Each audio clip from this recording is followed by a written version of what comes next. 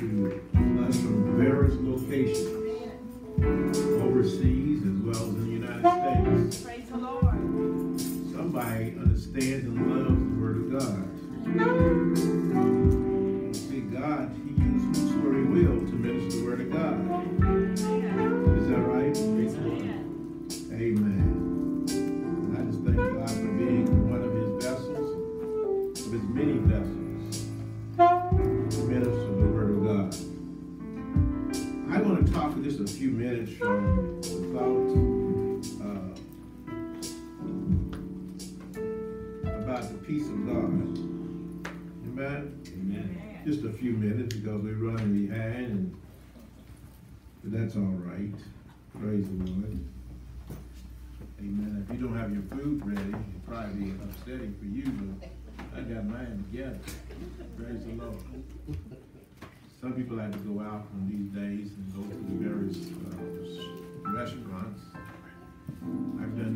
this week. I've done all of it. Now, so let's full circle back. Praise the Lord. Amen. Praise the Lord. It is a good thing, as I said, to praise the Lord.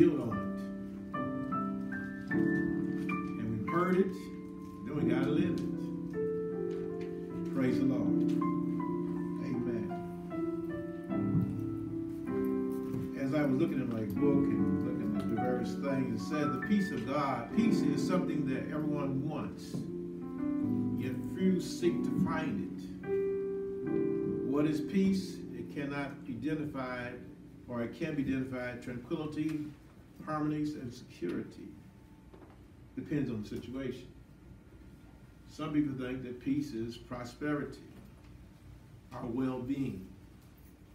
Is that right? Amen. And people like to feel good when they got some money in their pocket. Amen. Is that right? Amen. In the Hebrew, it talks about peace is the shalom, referring to a relation between man, the nation, and with God. Amen. Praise the Lord. And as we learn about this peace and learn from the Bible about the peace, we must get in the arena of having peace with God. Amen. Is that right? Amen. And if we can get in the arena of having peace with God, we have a covenant that we can keep. Amen. And when you learn to get familiar with God, you learn He's all right. Amen. He's not your enemy. Too many people think that God was an enemy. That's why they have all kinds of trials and tribulations coming their way. But God is not the one that brings those troubles. Amen. Amen. Praise the Lord.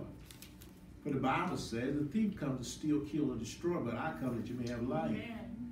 that you may have it more abundantly. So man's mind has been scrambled for years. Someone was talking to each some each person's ear, telling about why this happened, and God, if God was really God, He would have taken care of me. And sometimes when we get our low point, we say, you know what, that's right. Amen. Praise the Lord. Is that true? Amen. Amen. Praise the Lord.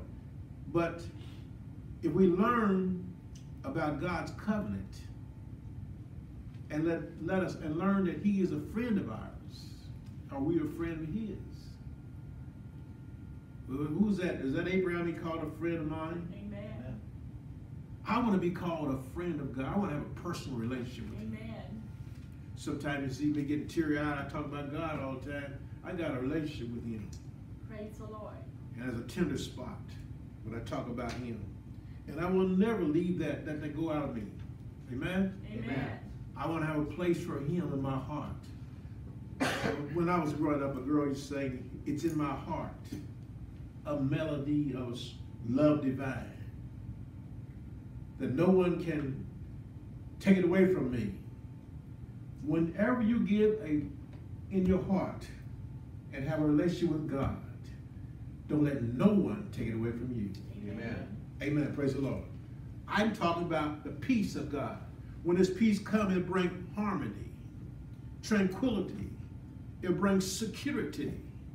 Amen? Amen. Amen. Because we need that in this day and time we are living in. Because in our land we have now, there is no security here. That's right. Amen. Praise the Lord. I remember when I was growing up that you used to have different kind of uh, plans, pension plans, and what have you. And it was you stayed so long, and after you get a certain age, they would have enough in there for you have to retire to live comfortable. Uh-huh. But nowadays everything is changed up. That's right. Amen. That almighty dollar has stifled people's heads and caused them to back up and say, we don't need to pay them that.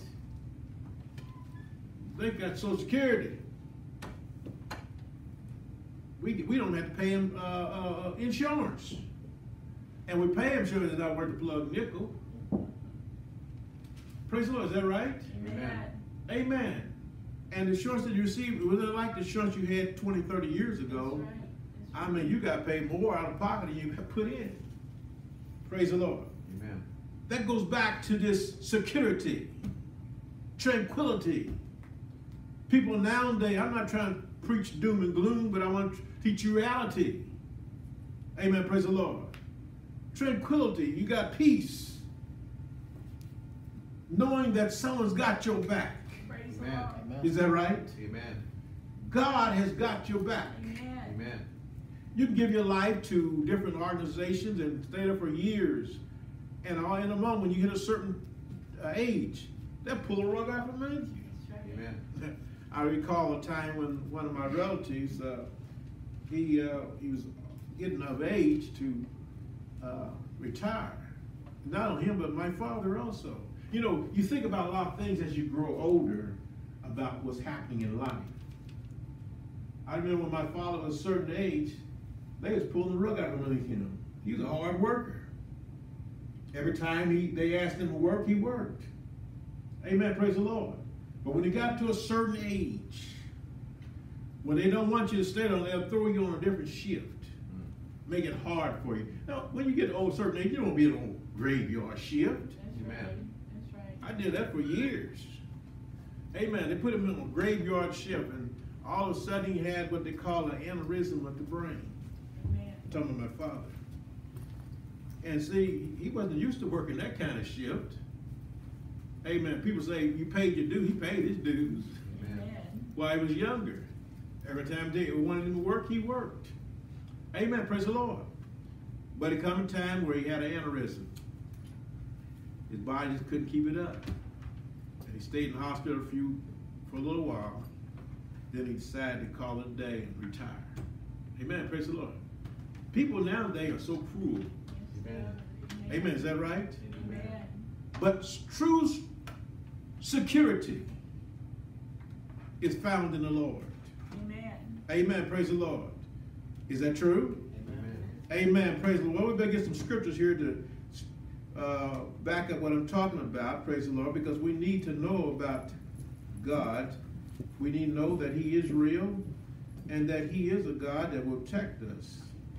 Amen. We need protection. Amen. Amen. In Romans, the third chapter, I'll get back to the Isaiah probably one soon. The third chapter says, and we cannot create peace with God because we, we are our best effort on our best day are nothing but filth to rise compared to his holiness. We cannot create peace with God because our best efforts on our best day are nothing but filthy rags compared to his holiness. We can't do it. Is that right? Amen. Amen. Praise the Lord. We can't do it at all. We, you know, we try to do a whole lot of things ourselves. Mm-hmm. We can't get the job done. Amen. Because we're with self. Praise the Lord. Our self just gets in the way. Praise the Lord. Let me read that again out of this particular book here, that particular verse, Romans the third chapter, the 23rd verse. It's talking about God's righteousness by faith. 21st verse says, But now the righteousness of God without the law is manifest, being witnessed by the law of the prophets, even the righteousness of God, which is by faith of Jesus Christ unto all and upon all them that believe. For there is no difference. For all have sinned and come short of the glory of God. Praise the Lord. Praise the Lord. For all have sinned come short of the glory of God. We can't do nothing of our own. Amen. Whatever we try to do on our own, it will, will fold up and it will not prosper. Amen. Praise the Lord. We think we got peace down here, but just by the time you think you got some peace down here, something will rise up. Amen. Amen. Amen. Praise the Lord. See, that's the reason why Jesus came on the scene. Because we try to do it our way and found our way was not going to suffice. Amen. Amen. Praise the Lord. We tried to do everything our way and we found out we messed up. Amen. Every time you looked up, they was doing something crazy in the Old Testament. But it took Jesus Christ coming to straighten things up. Amen. Amen. Is that right? Amen. Amen. Praise the Lord. So you find out that the righteousness of God, God's righteousness is by faith. We got to learn what God says by faith. Amen. Because we learn about God, we'll learn how to live for Him. Amen. Praise the Lord. They're filthy rags compared to His holiness. They don't mean nothing. Well, sixth chapter of Romans, the 23rd verse, we'll see what it says. You got to have scripture with everything you do Amen. and show that you're nothing without God. The Bible says, For the wages of sin is death, but the gift of God is eternal life through Jesus Christ. The wages of sin is death, but the gift of God is eternal life through Jesus Christ. That's the reason why he came, was to bring us back to God so that we can learn about peace. Amen. Praise the Lord. Because everything we did was our sin. What we did was was was going to bring death and destruction to our lives. But it took the gift of God, which was Jesus Christ, praise the Lord, to come in our lives to bring us back to God. And once we had Jesus Christ in our life, then we got peace. Praise Amen. the Lord. That's where peace lies. Praise the Lord. Amen. Amen. Praise the Lord. So as I look at the Bible and read the Bible and learn about Him, I learn a whole lot that we are nothing without Him. Amen. Amen. So peace. Amen. Hebrews, the, as I said, the Old Testament primary the, uh, word, the Hebrew word was peace, shalom, referring to a relationship with people, with God. Amen. We need a relationship with God. And that relationship comes when we learn to let Him have our, our lives. Let Him have our lives. Let Him be in control of our life. Let Him be the, the, the main one in our life, the Lord of our life. Then we'll have peace. Amen. Amen. Amen. We think we got peace in our money. We got obtained so much money, and we think we got it made. I recall a time when I was in Sudan where uh, there was a guy who was uh, he was a school teacher, but he had a sideline business. He made good money on the sideline, and he said this one thing about his mother when she was alive. He told my father, said, "You know, I can't buy help for my mother. All the money I have, I can't I can't buy help for her." Praise the Lord. I'm limited. So money makes you limited. I mean, you may get recognition, uh, recognition down here. They call you, start calling you Mister instead of calling your first name. You're Mr. Tim or Mr. T. Before that, you were just Tim. Amen. Praise the Lord. But when Christ, when, when, when you start getting money, then they start recognizing you as Mr. So and so. When you didn't have no money, they didn't recognize you all at all. I mean, when I bought my first car over here in Mexico, brand new car, and uh, this lady, I talked to her, I'd already cut the deal and got everything. She started cracking jokes. It's a sad thing for people to crack jokes and can't crack. I mean, you know, oh, let's say, how to say that? Tell jokes and it's not funny. It almost reminds me of a Red Skelton. Red Skelton tell a joke and, and he, he crack up laughing before he finish the joke up. And this lady here was, I had a Cougar. I had a 1996 Cougar. That was a beautiful car. And uh, she got to tell me about this remote control. That I never had one of those before in the car, but I was going back like I was, I was not aware of what was going on. She said, "You see this here? This is the remote control." I said, "Yes."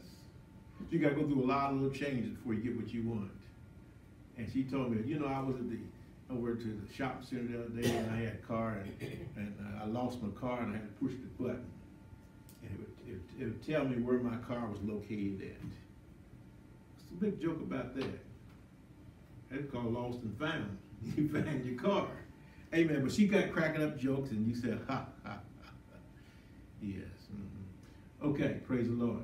But I, I said to say this people, when they see you got a little change, they want to treat you with respect.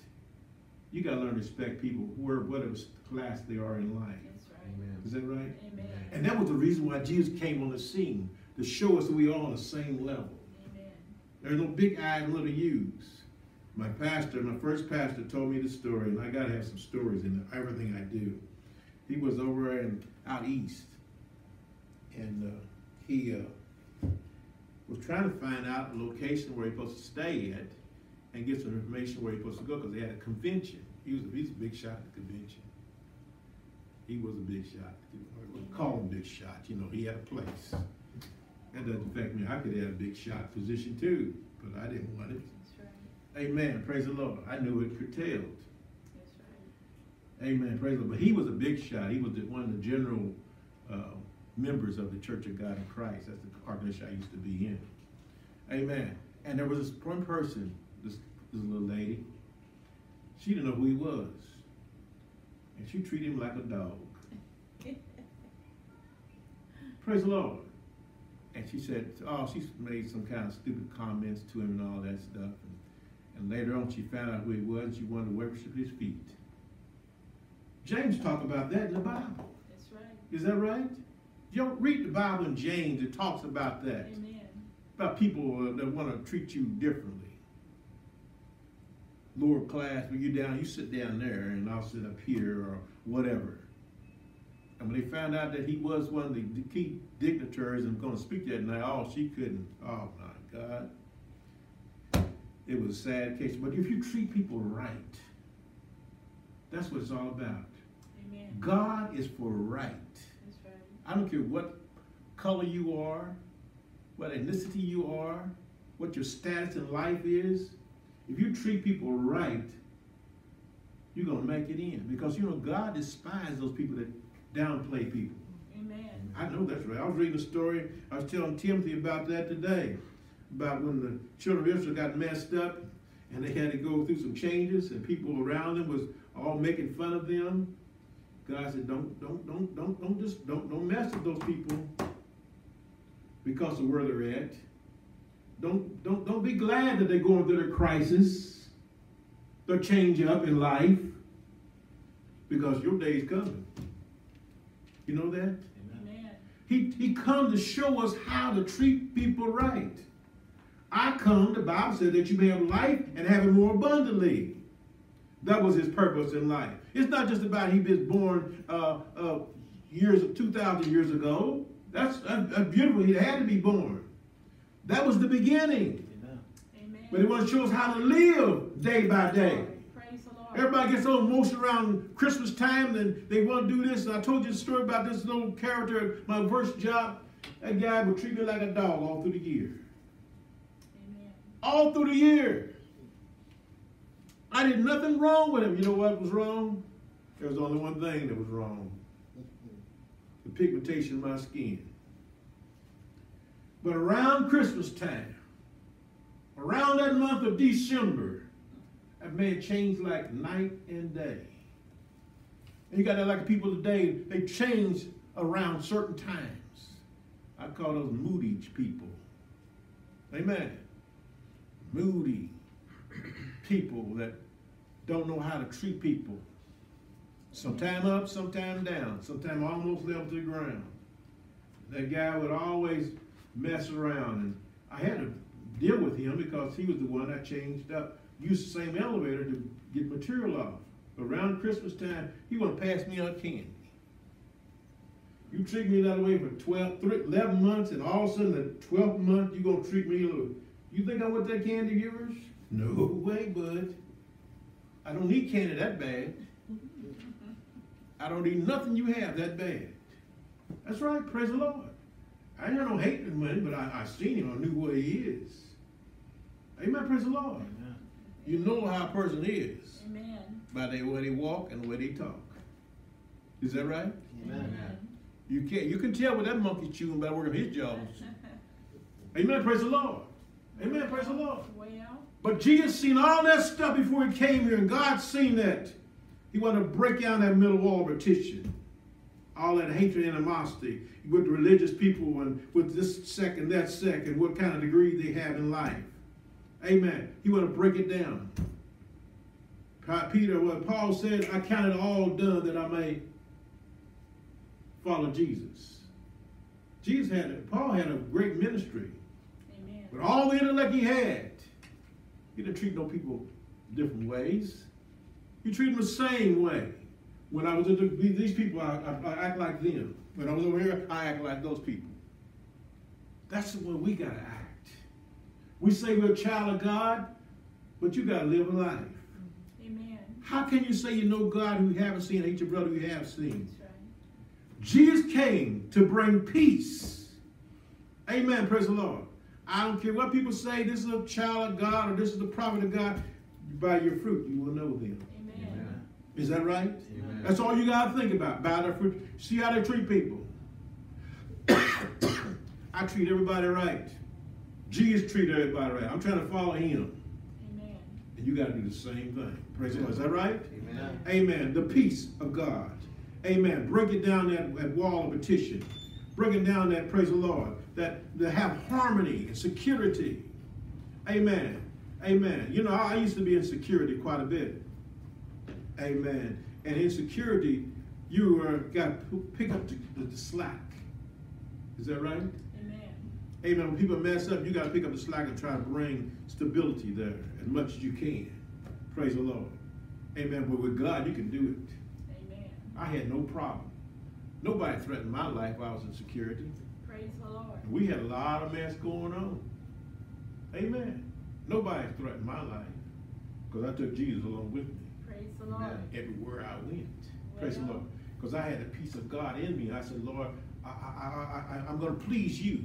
Amen. And the Bible said, when a man's ways please the Lord, he makes even his enemy be at peace with him. Amen. Praise the So Lord. every time I walk in security, not in that, that, that name or whatever the position was, I walked in the name of Jesus. Praise the Lord. I just happened to be in that position, but God took me all the way. Amen. Amen. I didn't go look for trouble. If trouble came to me, I addressed the trouble when it came. There's one guy in, on the security, I'm still talking about the peace of God. He had to end up getting him a, a bulletproof vest. Mm-hmm. I said, what's that man like? He's got some kind of you know, deformity. And the guy said, no, he don't have nothing like that. He had to get him a vest. I never wore a vest while I was down there at that security. But he wore a vest every day he was there. Because one guy said, I'm going to kill you.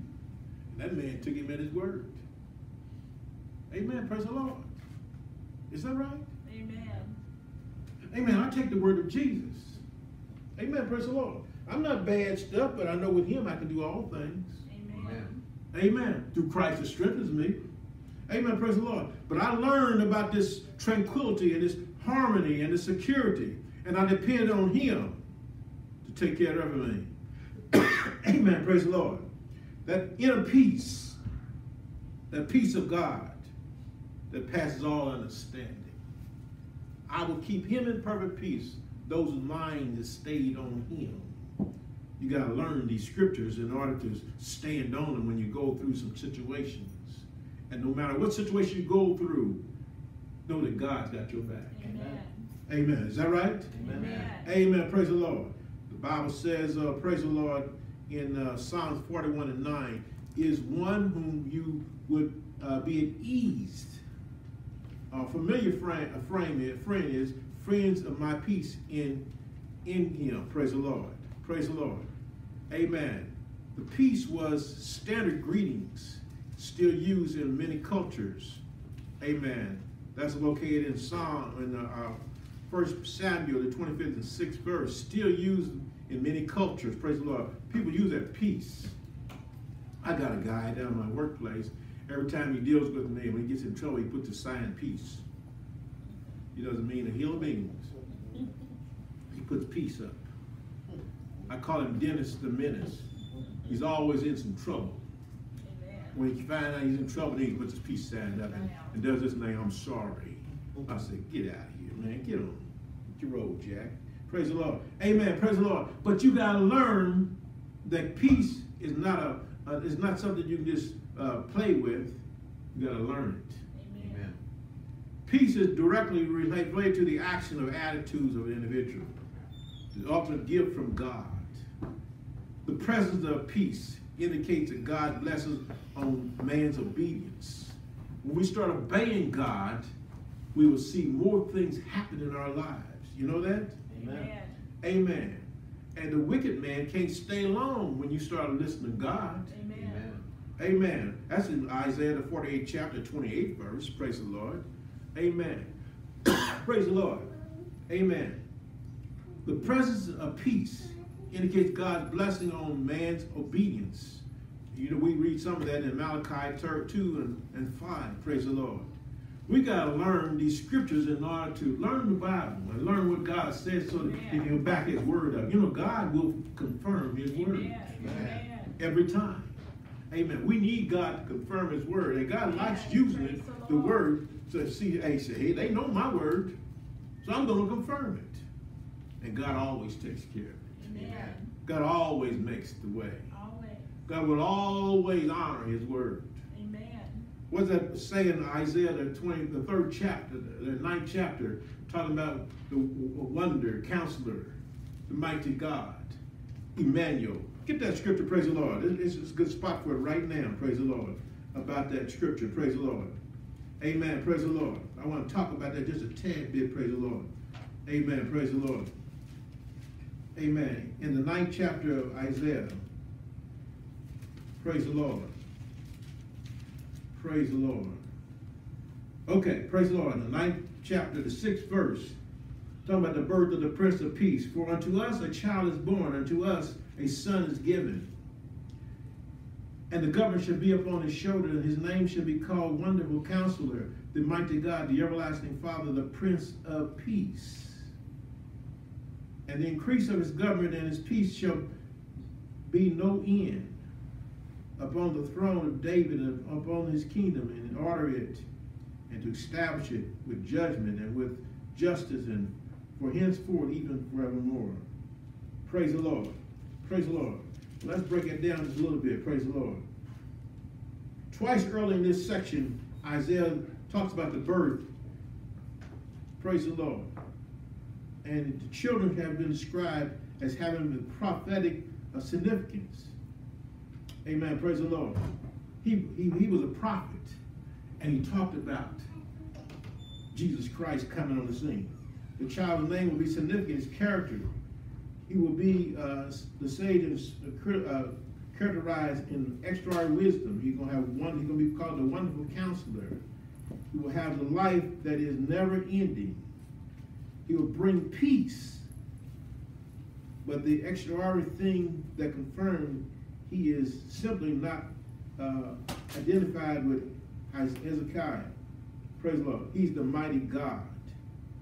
Amen. God with us. Emmanuel. Wonderful counselor. He can be a counselor. He can counsel you. You know, we need counseling in this day and time which we live in. We don't know which way to go, which is up and which is down.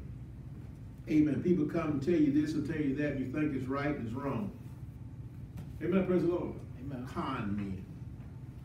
Lying men. Amen. Praise the Lord. People think lying is right. Lying is never right. Amen. Amen. Praise the Lord. Have you ever seen where the right is wrong and wrong is right? Praise the Lord. It's normal nowadays. No, wrong is still wrong. Amen. Amen. And right is still right. God hasn't changed. Amen.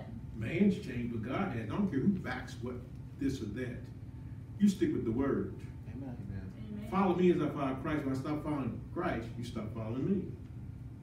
Is that right? Amen. I don't care what kind of name you have behind you, what kind of title you have. Praise the Lord. When they're wrong, they're wrong. Praise the Lord. Amen. Wonderful counsel. And God will give you wisdom. And when things just don't sound just right, go search the scripture for yourself. That's called studying. Don't rely on what people say. Don't rely on what I say. Get your Bibles out. Amen. Learn your Bible for yourself. Right. We got to go before Jesus, not before man down here. That's right. Man down here say you you're nothing. But God said you're somebody special. Praise the Lord. Amen. Praise the Lord. For I love the world so much that I gave my only begotten Son, that whosoever believeth would not perish, but I'd have everlasting life. Praise the Lord. So we find out here, praise the Lord, that Jesus took. This is what it says again in that particular scripture. Amen. Praise the Lord. Praise the Lord. For unto us a child is born. Unto us a son is given. And the government shall be up on his shoulder, and his name shall be called Wonderful Counselor, the Mighty God, Everlasting Father, the Prince of Peace. He took it on his shoulder to bring man back in fellowship with God. Praise the Lord. To bring man back in fellowship with God. See, the whole focus is, praise the Lord, that we need to, to, to know that Jesus is the one that brings peace. You can't have peace unless Jesus comes in your life. Amen. That's false peace. Amen. Praise the Lord. Amen. You know, peace. I'm, I'm getting peace by I'll drink a cup of coffee. That'll give me peace. I'll, I'll pop some drugs. I'll get a little alcohol. Stimulate me. That ain't gonna do. When you come down that mess, you're gonna still be the same old person. Amen. We got epidemics on our now now because they say that oh everybody's going to hell and here and back. Oh shut up. Get on out of here. Everybody ain't going down there. Some people want to live right. Amen. I want to live right. What about you? Amen. God's still God. Well, I'm so glad I got saved when I, you have shucks. God's still the same God of yesterday. I used to hear that all the time. I'm so glad I got saved. I mean, God stopped saving people. Well, you're, what you're doing now is not effective. But the peace of God will last forever and ever. He said, I will be with you always, Always. even to the end of the world. So whatever's going right now, hey, God can still take care of you. Amen. God can still calm the seas Praise in the the midst Lord. of you. Praise the Lord. Nothing should be too hard. He told Peter, uh, come forth. And as long as Peter kept his eyes on Jesus, he didn't sink.